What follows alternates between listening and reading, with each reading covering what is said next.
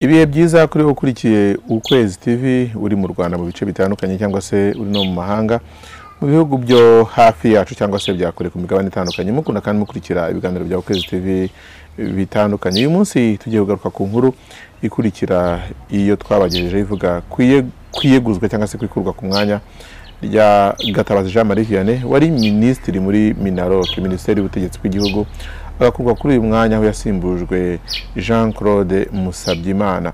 Ni umwanya gatabazi jean marie vianney yari amazeho igihe kitari kinini ariko nanone kitari gito cyane. Ariko kandi yanakoze indi mirimo itandukanye kuko yabaye guverineri w'intara y'amajyaruguru. Mbere yaho akaba yarabaye umudepite mu nteko ishinga amategeko mu gihe cy'imyaka cumi n'itatu. Mu mpamvu twavuze zishobora kuba zaratumye gatabazi jean marie vianney akurwa ku mwanya wa minisitiri twavuze bimwe mu bitandukanye byagiye eh, bivugwa. Ariko kandi amakosa ashobora kuba menshi eh, impamvu zikaba nyinshi ariko nyine nk'uko tubivuga mu kinyarwanda zikazahemwa n'imwe. Eh, gatabazi jean marie vianney nk'uko twabigarutseho eh, igihe yari guverineri w'intara y'amajyaruguru yigeze gukurwa kuri uwo mwanya. Bitangazwa yuko eh, itangazo icyo gihe ryasohotse mu biro bya minisitiri w'intebe rivuga ko yahagaritswe kuri uwo mwanya kugira ngo hakurikiranwe ibyaha cyangwa se amakosa akekwaho. Hanyuma yahise yemera ku rubuga rwa twitter ayasabira imbabazi ndetse inyuma za kuvuga ko umukuru w'igihugu yamubabariye ndetse imbabazi zigaragazwa n'uko yasubiye kuri uwo mwanya nta wundi urawusubiraho urawumusimburaho. Haboneka n'undi baruwa imushyira ku mwanya wa guverineri w'intara y'amajyaruguru umwanya yavuyeho aza kuba minisitiri w'ubutegetsi bw'igihugu. Navuga ngo yari nka promotion avuye ku mwanya wa guverineri agirwa ku agirwa minisitiri w'ubutegetsi bw'igihugu. Ariko uwo mwanya yawukuweho. Eh, mbere y'uko akurwa kuri uyu mwanya hari byinshi byavuzwe bishobora no gushakirwamo impamvu yo kuba yarakuwe kuri uyu mwanya. Harimo nko kuba yaragarutsweho mu rubanza eh, rwa Bamporiki Edouard? Aho byavuzwe yuko hari uwamwitabaje amubwira yuko yamufasha kugira ngo ibintu bigende neza muri bizinesi ye ndetse ngo akanamwizeza ubufasha. Ngo ni umuntu bari bahuye bahuriye mu birori by'ubukwe. Eh, rero nk'umuntu nyine yabonagaho ububasha aza kumwitabaza. Iyo n'indi eh, mpamvu umuntu yabishakiraho. Ariko hari impamvu umuntu yakwita rurangiza hirya no hino ku mbuga nkoranyambaga abantu bandukanye akantu kameze nka hashtag cyangwa se steroga bavuga bati uzi ico ndico do you know who I am? So ni nyuma rero yuko bitangajwe ko eh, gatabazi jean marie vianney ngo yaba yarabikoresheje agakoresha ububasha afite nk'umuyobozi kugira ngo asabire umwana w'undi muyobozi ishuri mu kigo cyitwa rwanda coding academy rca reka wenda ibi mbere y'uko tuza uh, kubigeraho tuvuge ko mu nama wa biro politike y'umuryango fpr inkotanyi yabaye hagati y'itariki makumyabiri na makumyabiri n'imwe eh, z'uku kwezi gushize hari byinshi byatangajwe mu binyamakuru ariko nyine nk'inama biro politike hari ibivuga navuga ngo biri muri cuisine interne bidasohoka byose uko byakabaye. Mu bayobozi banenzwe cyangwa se eh, batunzwe agatoki nk'uko benshi bari banabyumvise icyo gihe mu byaciye mu bitangazamakuru benshi bumvaga ko umukuru w'igihugu mu bo yavuze cyangwa yanenze harimo na gatabazi jean marie vianney. Amakuru yaje kumenyekana nuko uh, mu byavuzwe ndetse umukuru w'igihugu ashobora kuba yarabajije gatabazi afatanyije n'umwe mu bayobozi bakomeye n'ubundi muri rpf harimo ibijyanye n'uburyo gatabazi yasabye ishuri ry'uwitwa akimpaye christine amusabira ishuri ry'umwana we mu kigo cyitwa rwanda coding academy. Rwanda coding academy ni ikigo nk'uko u rwanda rwiyemeje cyangwa se rushyize imbere ibijyanye n'ikoranabuhanga ni ikigo n'ubundi kiri muri uwo mujyo kigamije guteza imbere ikoranabuhanga mu bana b'u rwanda. Ni ikigo kiri mu karere ka nyabihu eh, kimaze igihe gitoya. Aba- abana bakigamo ntabwo hashingirwa ku bushobozi ngo tuvuge ngo kigamo abana b'abakomeye. Oya higamo abana ndetse n'abana bafite imiryango itishoboye batabasha no kubona amafaranga yo kwishyura ariko bakabafasha. Kigamo abana b'abahanga. Nk'umwana umwe nzi wigamo w'umukobwa ashobora kuba ngira ngo yarabaye uwa kabiri cyangwa uwa gatatu ku rwego rw'igihugu mu gihe yakoraga ikizamini gisoza amashuri y'icyiciro rusange tronkome hanyuma ajya- ajyanwa kwiga muri icyo kigo. Kugira ngo mvuge uburemere bw'icyo kigo iyo uwo mwana ari muri vakansi nta mwanya wo gushoma aba afite aba afite ibiraka aba afite akazi akora kamuhemba amafaranga meza kandi akiri umunyeshuri akiga muri segonderi ni ikigo cyigisha nyine ibintu bijyanye na coding ubwo wenda abantu bize ibijyanye na IT bashobora kubyumva cyangwa se ibijyanye no kubaka ama website n'ama application. So ni ikigo kiri kuri standard navuga ngo umuntu wese yakwishimira. Uwitwa rero akimpaye christina yaje kubona icyo kigo ariko nk'umwana uh, we akabona ni umwana w'umuyobozi yego. Ariko ntabwo bihagije kugira ngo abe yamushyira muri icyo kigo nk'uko abyifuza. Hanyuma yaje kwitabaza gatabazi jean marie vianney bari basanzwe ari inshuti dore ko nk'uko tuza kubigarukaho bafitanye ubucuti cyangwa se imikoranire mu, nzego z'ubuyobozi zitandukanye nk'uko tuza kubigarukaho mu kanya ah, tubisobanura kugira ngo mwumve uburyo baziranye n'uburyo bagiye bakorana. Hanyuma aramwitabaza ati ndashaka umwanya muri kiriya kigo. Umwanya arawumusabira ndetse mu kusaba umuyobozi w'ikigo ngo hari aho nyine atabyumvise neza amubwira ati abana baza muri iki kigo binyura muri izi nzira hari inzego zibatoranya zigashingira kuri ibi none ndabigenza ne ko bitaciye muri izo nzira urabona bigenda gute? Aho rero ni ho ngo ya hashtag nyine navugaga yaje kuzira ati uguhamagaye uzi uwo ari we? Uzi ico ndico waba uzi ko uguhamagaye ari uyobora minisiteri y'ubutegetsi bw'igihugu? So ntabwo nzi neza texte roma uburyo yabimubwiye ariko nyine yamwumvishije ko cyangwa se yashatse kumusobanurira ko ari umuntu ukomeye ku buryo akwiye kumwumva. Umwana ngo yaje no kugera muri iryo shuri ariko ntiyatinzemo kuko nyine iyo nzira y'ubusama yari anyuzemo ajyamo bitari kumukundira. Maginga ya eh, nyuma gato y'uko gatabazi jean marie vianney akuwe ku mwanya wa minisitiri w'ubutegetsi bw'igihugu uwo munsi nyine sinzi niba ari coincidence ariko namwe muraza gutekereza mu byumve. Akimpaye christine yari umujyanama ndetse akaba na sekreteri wa biro ya njyanama mu karere ka rulindo. Yahise yegura kuri uwo mwanya. Amakuru y'uko yeguye eh, n'ayahamirijwe na dusabirane aimable ni perezida wa njyanama y'akarere ka rulindo. Mwumve ikiganiro twagiranye ku murongo wa telefone. Eh, ni byo yatwandikiye atumenyesha yuko yeguye. Ntabwo yigeze bamenyesha impamvu yeguye? Yavuze ko ari impamvu ze bwite. Mm, iyo ubwegure nk'ubwo mu bwakiriye habaho kubusuzuma cyangwa otomatikoma uweguye wese muhita mubyakira. Iyo umujyanama yeguye eh, inama njyanama niyo ifataho icyemezo niyo mpamvu uyu munsi saa cyenda dufite inama idasanzwe y'inama njyanama kugira ngo tuze gusuzuma ubwo bwegure hanyuma ni ukuvuga ko yeguye muri njyanama cyangwa yeguye ku mwanya w'umunyamabanga wa njyanama? Yeguye nk'umujyanama kuko n'ubundi twese tuba turi abajyanama indi tuyi- tuyikesha kuba turi abajyanama. Mm.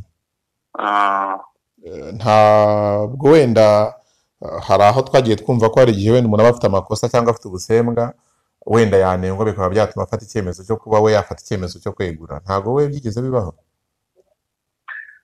Mbo ntacyo nashobora kubihuza na cyo kuko ukurikije ibaruwa yanditse avuga impamvu ze bwite umuntu rero ikimutera gufata icyemezo gishobora ku- kuba icyo ari cyo cyose wenda byaba byiza we muvuganye akaba yababwira iyo mpamvu ye bwite ariko twebwe ntacyo dushobora gutekereza. Mm, ariko si ubusanzwe nta nenge mu mikorere cyangwa se eh, imikoranire muri njyanama haba mu- nk'umujyanama cyangwa se nka sekereteri wa njyanama y'akarere ka rulindo. Ukurikije igihe gito inama njyanama turimo imaze itowe ntabwo navuga ko ari ikibazo twari twakagiranye ku buryo bavuga ngo ni cyo cyaba cyabaye impamvu yo kwegura ni impamvu ye bwite ashobora kuba ari indi mirimo babonetse ashobora kubangikanywa no kuba umujyanama ashobora kuba hari izindi mpamvu ze bwite nk'uko yabyivugiye ngira ngo ntabwo twajya muri sipekulasiyo Mm, sawa murakoze cyane murakoze nawe Uh, nguwo rero uh, akimayi christine yari umujyanama akaba nu- nu- nu- n'umunyamabanga cyangwa se sekereteri wa biro ya njyanama y'akarere ka rulindo. Ariko wa mugani wavuze ngo uzi icyo ndicyo nawe ntabwo yari umuntu woroshye yari umuntu ukomeye na byo naza kubigarukaho ububasha abantu bamwe na bamwe bahabwa eh, bagahabwa imyanya umuntu ugasanga afite imyanya myinshi ukibaza ngo ese kugira imyanya myinshi ari we ubwe? Ntibizamunaniza. Ububasha se afite mu kintu runaka ntibizatuma n'ahandi azagera. Azaba afite ububasha burenze ubw'abandi ba- ba- bakora imirimo imwe. Kubera wenda urundi rwego ahagarariye turaza kugenda na byo tubigarukaho. Uyu akimana uretse kuba eh, akimpaye uyu akimpaye christine uretse kuba yari umujyanama eh, mu karere ka rurindo akaba na sekereteri wa njyanama yari afite indi mirimo myinshi yakoraga. Reka wenda nse nkusubira inyuma kugira ngo mbanze mbumvishe wenda n'uburyo cyangwa se ah, aho yagiye akorana na gatabazi jean marie vianney. Ku itariki cumi n'eshanu kamena bibiri na cumi n'icyenda gatabazi icyo gihe ari guverineri w'intara y'amajyaruguru ni umwanya yari yagiyeho muri bibiri na cumi na karindwi asimbuye uyu musabyimana jean claude wamusimbuye ku mwanya wa minisitiri w'ubutegetsi bw'igihugu. Icyo gihe yaramusimbuye. Amaze kumusimbura nk'uko henshi mubizi hirya no hino mu ntara akenshi ubaye guverineri akunze no kwita abaciyamani wa fpr muri iyo ntara. Niko byagenze. Abaciyamani yari ciyamani aza kongera kwiyamamariza indi manda ku mwanya wa ciyamani muri bibiri nyine na cumi n'icyenda ku itariki cumi n'eshanu kamena. Icyo gihe yiyamamaje ari umukandida rukumbi yaratsinzwe ari we ciyamani wa fpr muri mu ntara y'amajyaruguru arongera n'undi yiyamamariza kuba ciyamani w'iyo ntara ariko yiyamamaza ari umukandida rukumbi. Icyo gihe ni bwo akimaye christine yabaye eh, umuyobozi cyangwa se uhagarariye icyo nakwita congress cyangwa se kongere urugaga rw'abagore rushamikiye kuri fpr aho ngaho hari ku rwego rw'intara y'amajyaruguru.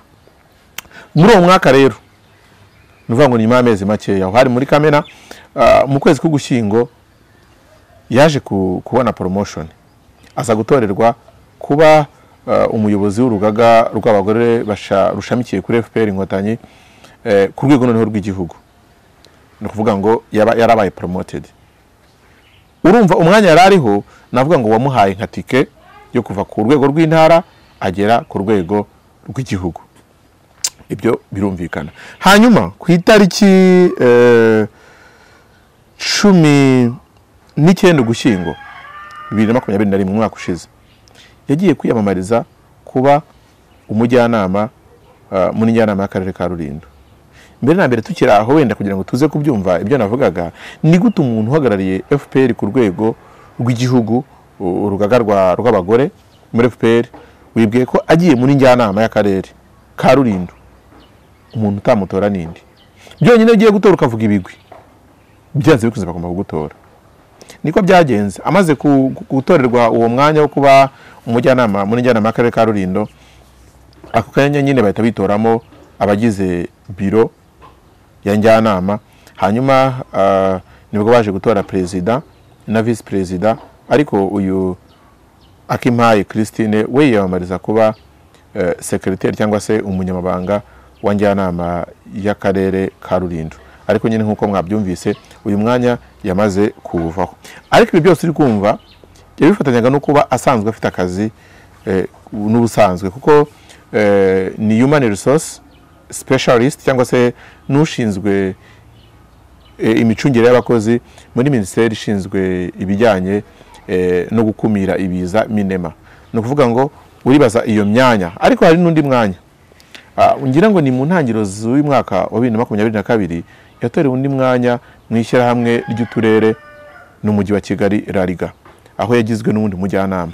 Ni ukuvuga ngo eh, akuriye urugaga rw'abagore ku rwego rw'igihugu muri fpr akaba ari umujyanama mu karere ka rulindo ariko akaba atari umujyanama usanzwe kuko ni n'umuyobozi ni sekreteri wa njyanama.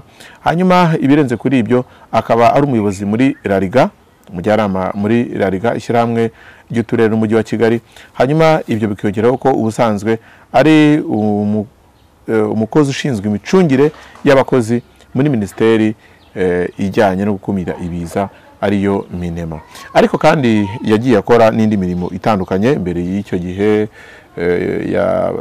yabaye umuyobozi ushinzwe abakozi ndetse n'imicungire y'abakozi muri eh, mu rwego rw'amagereza Eh, yabaye mu biro by'ubunyamabanga bwa- tije eh, urwego rushinzwe rushinzwe cyangwa se rushinzwe eh, rwari rushingiye ku nkiko gacaca rushinzwe imirimo ifitiye igihugu akamaro.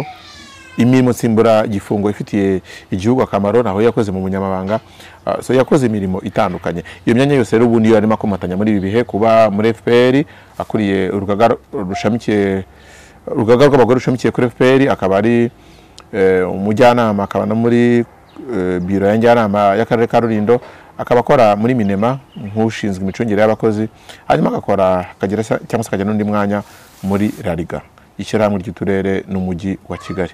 Iyo myanya yose rero nawe navuga ngo aramutse navuze ngo uzi ico ndico ntabwo yaba abeshye yari umuntu ukomeye turaza kubigarukaho na byo twibaze ese ubundi umuntu acunga iyo myanya yose kubasha kuyikora umuntu akayikora neza? Ni ni- ni n'umu- ni n'umubyeyi by the way. Ni umubyeyi afite umugabo n'abana batatu. Bivuga ngo izo nshingano zose urongeyeho n'inshingano ze ku giti cye nk'umuntu ugomba kwita ku muryango we. Eh, ari byo navuga ngo hagomba kurebwa niba hatari inshingano zimwe na zimwe umuntu ashobora guhabwa. Zikamuremereza zigatuma n'urundi rwego kuko kugira ngo wenda mubyumve neza nko mu karere ka Rulindo nka perezida wa njyanama y'akarere cyangwa se na meya kuko na meya nawe wari umujyanama mu karere ashobora kumva afite ikikango akibuka ko umuntu bari kuvugana ahagarariye eh, urugaga rw'abagore ku rwego rw'igihugu muri FPR akibuka ko umuntu bari kuvugana ni umukozi wa minisiteri. Ushinzwe imicungire y'abakozi muri minisiteri. Ibyo byose no muri minisiteri kandi hari hari igitinyiro ashobora kuba afite gishobora gutuma hari imyanzuro imwe n'imwe itamufatirwa mu buryo bworoshye kubera ko ntabwo ari ako kazi konyine akora afite ahandi hantu akomeye harenze hatatu. Ibyo na byo muraza wenda namwe kubiduhaho ibitekerezo. Hanyuma eh, wenda bi- bi- bina- binagendanye n'ibyo umukuru w'igihugu yakunze kuvuga by'abayobozi bamwe na bamwe biremereza. Hari n'abantu bamwe na bamwe bahishirana na byo yigeze kubigarukaho umukuru w'igihugu. Ugasanga mu rwego runaka hari umuyobozi kubera eh, ububasha afite hakaba hari inshuti ye bakorana hari re- reka mbaho urugero rumwe. Nshobora kubivuga wenda mukagira ngo ni speculations. Ah, mu mwaka ngena ngo bibiri na cumi n'icyenda hari inkuru nakoze. Nakoze inkuru igaragaza amakosa y'umwe eh, mu bayobozi b'ibitaro eh, yayoboraga ibitaro bya ruhengeri. Si ngombwa ko nza kuvuga izina eh, inzego z'ubuyobozi ziraza kubyumva kuko ari umwanya w'ubuyobozi yari ariho ku mwanya w'ibitaro eh, bya ruhengeri bashaka kumva uwo ari we. Hanyuma yari amakosa ndetse n'amakosa agejwe no mu nzego zikomeye zirimo n'u- n'urwego rw'umuvunyi harimo uburyo yarenganyaga aba- aba- abakozi harimo abakozi b'abagore bamushinjaga kubahoza ku nkeke bishingiye ku mibonano mpuzabitsina harimo abo ya- yabwiraga ko nibataryamana. Hari fero bazabura mu kazi cyangwa se ko ba- ba- ba- bazirukanwa. Harimo abakozi yirukani- yirukanishije human resource w'ibitaro kuko yamubuzaga gukoresha no gusesagura umutungo w'ibitaro mu nyungu ze bwite kandi icyo gihe raporo irahari yagejejwe no ku muvunyi. Icyo gihe nkora n'iyo nkuru nari mfite kopi y'iyo raporo. Ndetse harimo n'ibihano yagiye afatirwa bitandukanye. Icyo gihe yavanywe mu bitaro bya ruhengeri ajyanwa mu bindi bitaro ngira ngo ni ibya bishobora kuba ari rwankuba mu ntara y'uburasirazuba. Hanyuma amaze gukora iyo nkuru umuntu umwe yarampamagaye ntabwo ndi buvuge izina ariko eh, ni umuntu wari ukomeye muri FPR imitego itaraba myinshi. Arampamagara arambwira ati uriya muntu se ko ari umuntu wacu? Ndavuga ni se gute? Ntabwo ampamagaye ambwira ko inkuru nakoze uriya mugabo bamubeshyera. Ntabwo ampamagaye ambwira ko inkuru nakoze isebya uriya mugabo. Nari namuvugisha by the way ngo agire icyo atanga uruhande rwe ariko nyine kuko arazi ko ari mu makosa arabikwepa. Hanyuma arambwira ati uriya muntu ari mu buyobozi eh, bw'umuryango mu bijyanye n'urubyiruko. Byarandakaje biranambabaza cyane. Ndavuga na ahubwo kubw'iyo mpamvu iyo nkuru ikwiye kugumaho kugira ngo niba ayobora FPR eh, ayobora uh, urugaga uh, ngira ngo ubwo ni congress y'urubyiruko muri FPR na chairman na na, na, na SG n'abandi bayobozi muri FPR bamenye ko wa muntu ufite wa mwanya afite inenge bamenye nuko bazajya bamutwara. Kumbwira ngo kubera ko afite uriya mwanya inkuru niyikureho sibanganye yuko yakoze amakosa. Noneho ba baturage yahemukiye ubuvugizi bari bakwiye mbwihorere. Ni kuvuga ngo twebwe abayobozi bakomeye tuvuganire tugume ku- ku- kuri topu hanyuma rubanda ba- ba- barengana ubihorere. Icyo gihe ntabwo inkuru nigeze mbasha kuyikuraho naramubwiye nti ntabwo byakunda. Uwo muyobozi ndamusuhuje. Nako yahoze ari umuyobozi ntabwo wari umuyobozi. Ariko yarabimbwiye birambabaza cyane. Ndavuga nti nese nibuka interview nigeze kugirana na honorable tito rutaremara? Arambwira ati rega muri fpr kuribona turi benshi harimo abazima ariko harimo n'ibisambo harimo n'ibigoryi.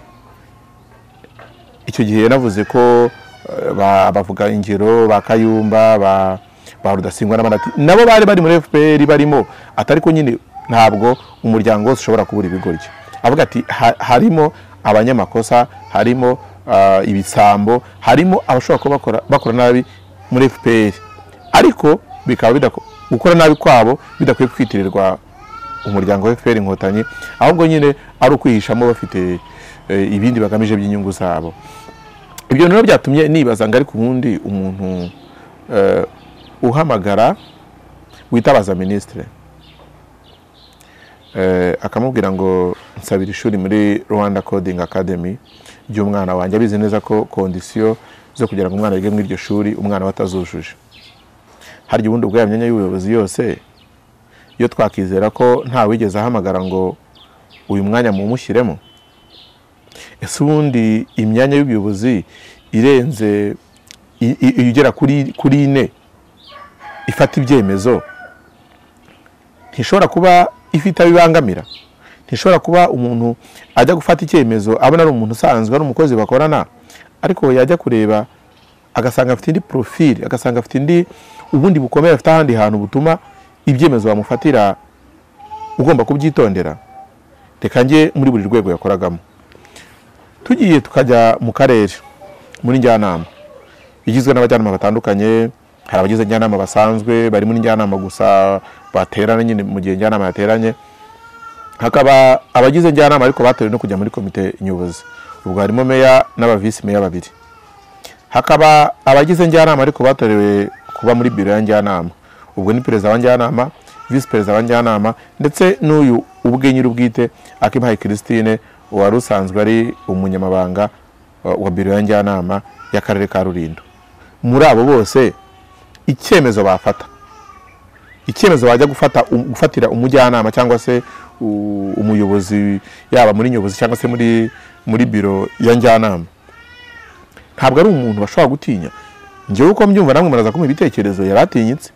Yari afite umwanya w'ubuyobozi wagatumye atajya kuko niyo byibuze aba aba yarabanje kujya muri njyanama y'akarere eh, ka rulindo nyuma wenda akazajya ku ku mwanya eh, wa- wa- w'uyu uhagarariye urugaga rw'abagore rushamikiye kuri fpr ku rwego rw'igihugu ari byo byabanje. Navuze nti byibuze ntabwo ari kwita asezera byari kuba eh, ari akantu kiyongereyeho. Ariko noneho yararebye asanzwe afite akazi muri minema ashinzwe imicungire y'abakozi asanzwe ayobora urugaga rw'abagore rushamikiye kuri rpf ku rwego rw'igihugu.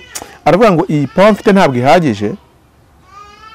Ajya no gushaka umwanya wo kuba muri njyanama y'akarere ka rulindo ubwo bubasha? Noneho amaze no guterwa kuba muri njyanama aravuga ngo ntabwo bihagije kuba muri njyanama gusa. Oya reka niyamamaze no ku mwanya w'umunyamabanga wa biro ya njyanama nawe arawutorerwa.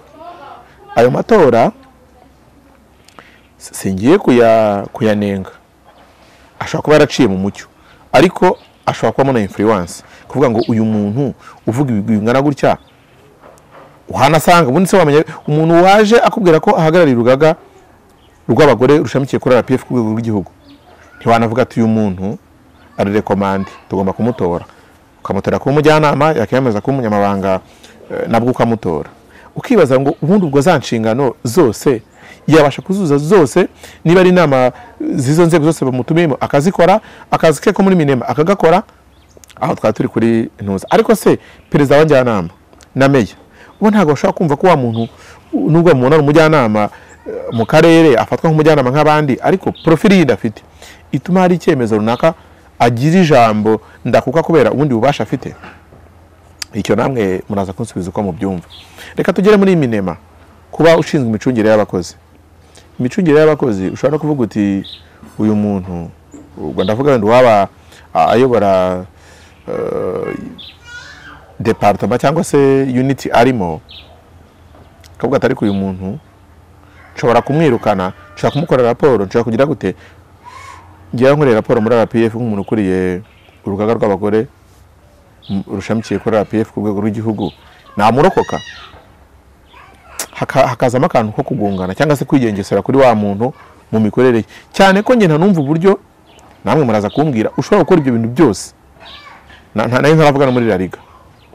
No muri ishyirahamwe eh, kandi nuza- kumva na- na- na- natangiye babwira ko eh, ajya kujya kuyobora urugaga rw'abagore rushamikiye kuri APF ku rwego rw'intara y'amajyaruguru. Icyo gihe guverineri yari gatabazi jean marie vianney. Ndetse gatabazi ni we w'icyo gihe wabaye chairman wa rpf ku rwego rw'intara y'amajyaruguru. Undi bahita babana nyine eh, muri biro nyobozi ya fpr ku rwego rw'intara y'amajyaruguru. N'ubundi urumva haba muri lariga muri local government ni mu nundi bifitanye n'isano ni- ni- ni- n'inzego z'ibanze ziri muri minaroke haba ndetse no mu karere ka rulindo. Naho sitiri biri muri rwa rwego cyangwa se za nzego z'ibanze zari ziri mu nshingano za gatabazi jean marie vianney. Ukumva ko n'umuntu yakekamo kumva ngo ese nta bubasha yagiye ahabwa? Umuntu bari kumwe mu majyaruguru umwe ari chairman undi ahagarariye urugaga rw'abagore njye ntacyo mbirwanyaho niba baramuteye babona bikwiriye. Ariko se iyo myanya yindi yose ku- kumuha ubwo bubasha bwose bihatse iki?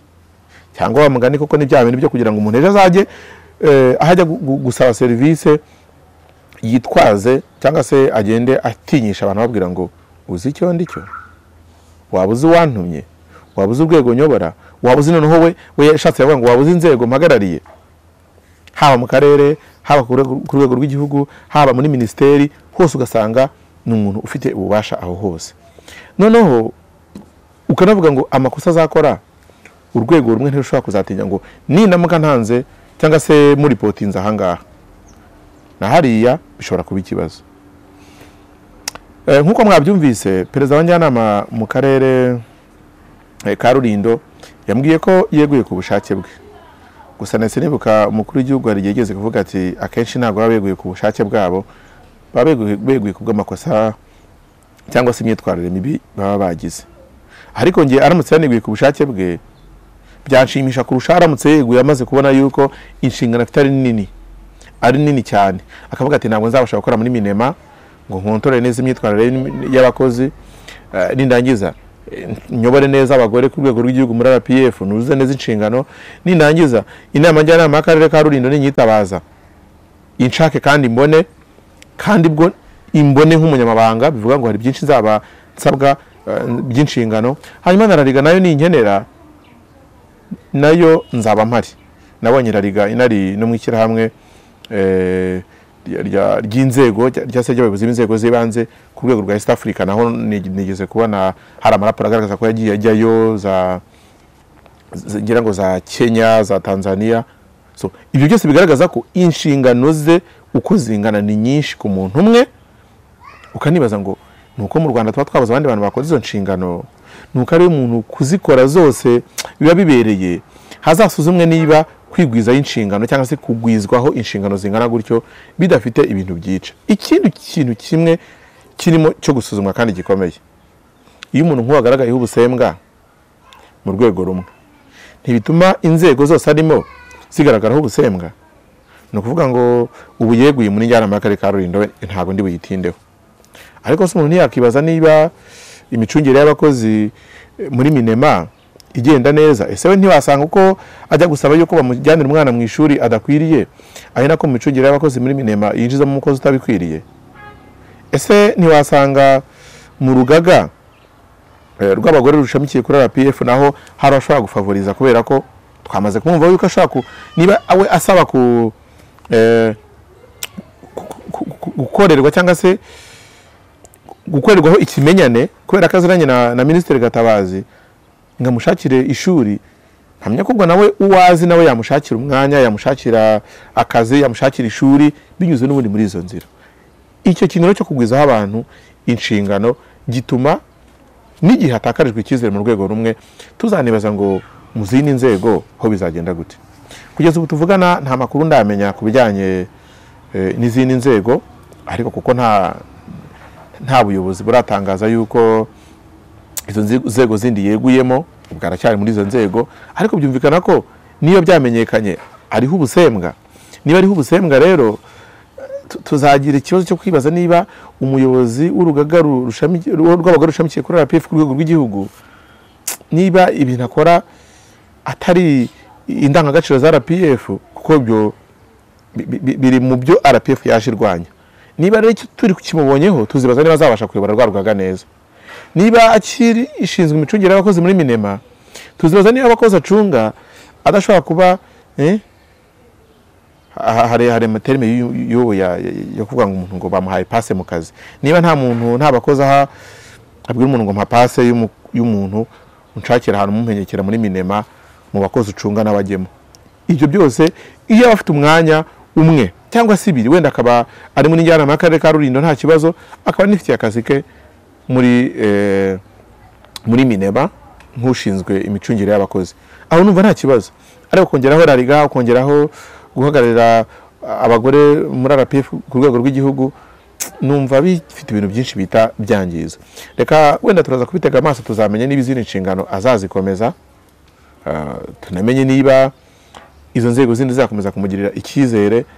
Ariko nanone umuntu akibaza ko aramutse agiriwe n'icyizere ariko akagabanyirizwa inshingano byamugabanyiriza uburemere ntekereza ko bimwe umukuru w'igihugu ajya avuga by'abayobozi bumva baremereye uburemere bwe bugabanutse akagira inshingano ziri limite eh, ariko nanone bwa buremere uretse kuba bugira harimo no kumunaniza.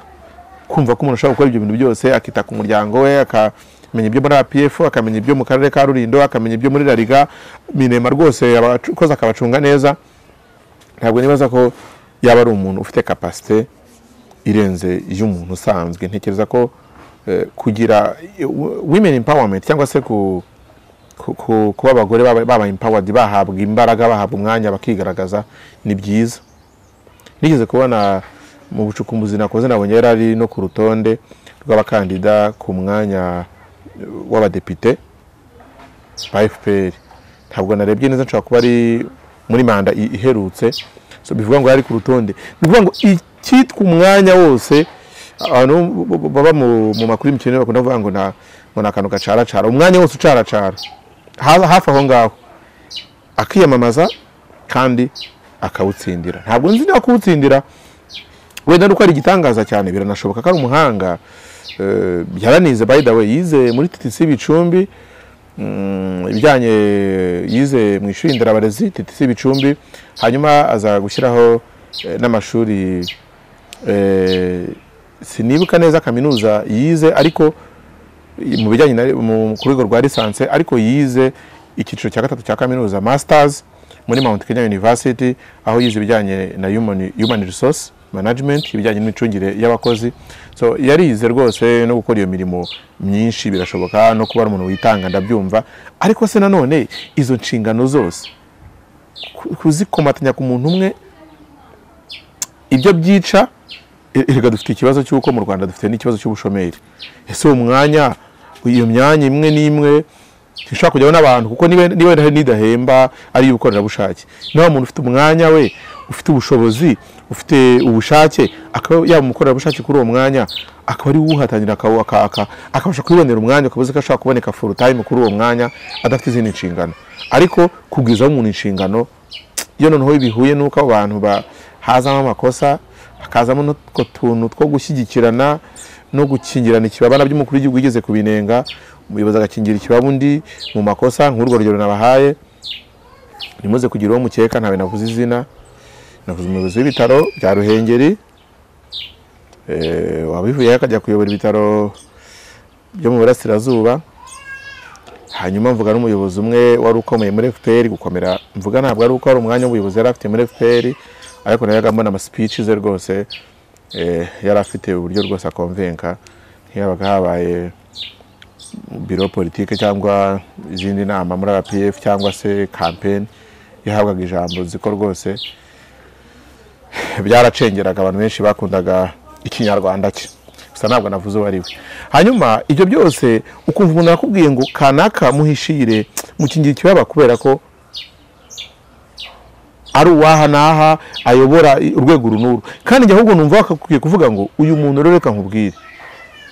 Wimuhishira yakwiye kuba intangarugero nk'umuntu uyobora ibintu ibi n'ibi mu rwego runuru mu muryango muki akwiye kuba ari intangarugero. Uyu muntu rwose akwiye kunenga kugira ngo nta hantu akora na rwa rwego akora atazarutukisha atazarugayisha bamenye imyitwarire ye. Swati bamunenge swati bamuhagarike swati bamwihanangirize ariko ibintu bibe biri mu murongo.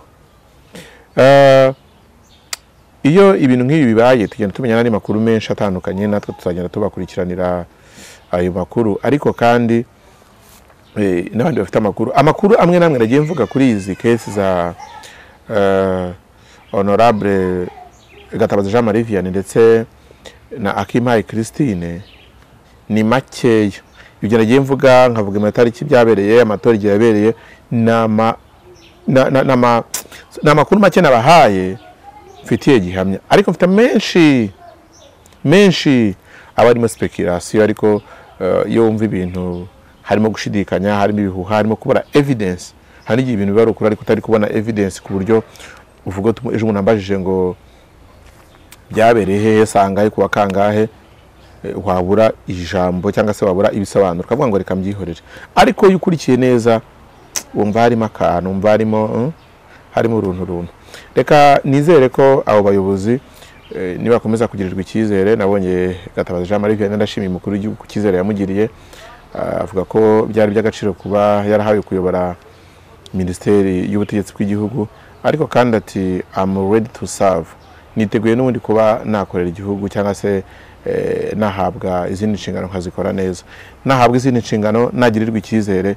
Nyamuneka umukuru w'igihugu nyamuneka ubuyobozi bukuru bw'igihugu ni mu muryango fpr inkotanyi no mu zindi nzego nkuru hajya habaho guha umuntu nk'uwo nguwo undi mwanya ariko habeho kwihanangiriza habeho gukebura eh, ku buryo ariko ngira ngo na byo umukuru w'igihugu yavuze ati ibintu byo kuba akazi yazi umuntu agatera intambwe imwe agana imbere ariko ejo agatera ebyiri asubira inyuma. Hajya hacungwa niba umuntu ada- adakora neza agakora ibintu bikagaragara akaba umunyamurava akitanga rwose bikagaragara ariko akagira n'ibyo azambya eh, bishobora gutuma byamera nka ya shati nziza y'umweru igaragara neza ariko irimo akantu k'akazinga k'umukara bituma uhita ubona ya shati ifite idafite umucyo yakwiye kuba ifite.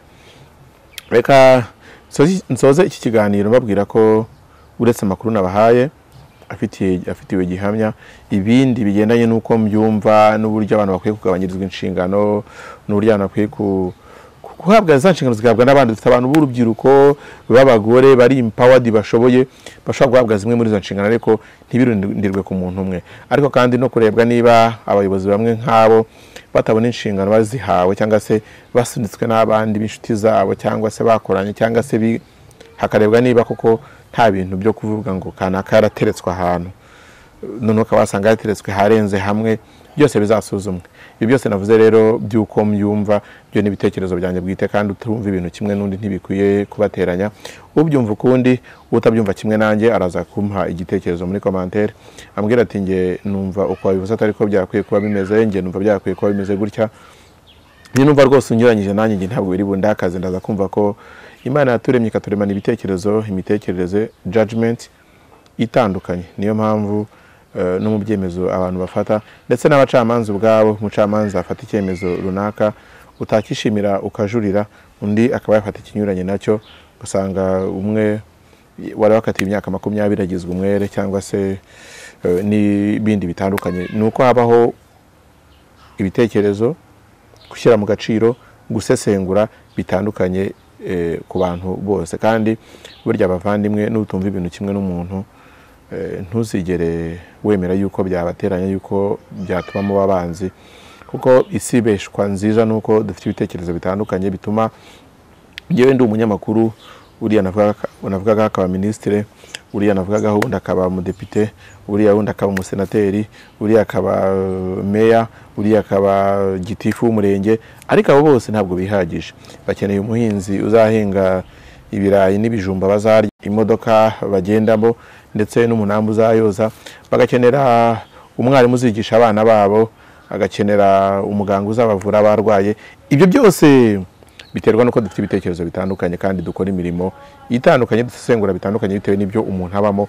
Noneho twabihuriza hamwe tukunganirana tukubakana tugahuriza hamwe tukaza gukora sosiyete ifite byose kandi yuzanya muri byose. Nuko mbyumva. Reka ngusezereho nkwifurize kugira ibihe byiza kandi ngushimire kuba kuri iki kiganiro. Ndanagusabe kuduha ibitekerezo n'inyunganizi biza gutuma turushaho kuganira kandi tuganira mu kinyabupfura no mu bwubahane. Ibihe byiza kuri mwese kandi muhahe muronke muhirwe n'ibyo murimo byose. Ibiganiro bya ukwezi tv byo nakagaruka mu ngingo zitandukanye ndetse eh, no mu bihe bitandukanye naho ubutaha. Ubu biroroshye cyane. Gana global shippers rwanda. Ikugezeho icyo wakenera cyose kuri amazon ebay alibaba n'andi masoko menshi yo mu mahanga. Bakora shipping mu bihugu nka usa canada china turkey india na dubai. Akarusho wishyura mirongo itanu ku ijana nka advance. Asigaye ukayishyura icyo utumije kikugezeho. Ku bindi bisobanuro bahamagare kuri zeru karindwi mirongo inani na kane mirongo itandatu na gatanu cumi na karindwi mirongo ine. Muri ubwiza bw'ibimera binoze limited dufite products zifasha kongera ubushake n'amavangingo kurangiza vuba kwikinisha amibe infection zitandukanye imitsi n'umuvuduko w'amaraso ndetse n'indwara zo mu nda. Wabariza kuri nimero iri kuri ekara yawe.